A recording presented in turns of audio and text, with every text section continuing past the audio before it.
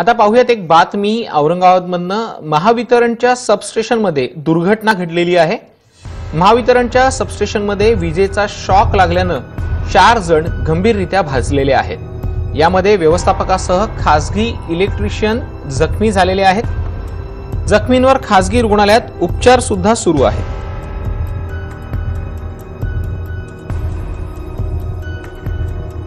विनापरवानगी सबस्टेशनमध्ये काम करणाऱ्या तीन जणांवरती गुन्हा दाखल करण्यात आलेला आहे.